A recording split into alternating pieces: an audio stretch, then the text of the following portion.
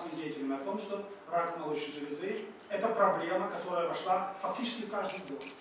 Можно говорить о том, что это каждая восьмая женщина имеет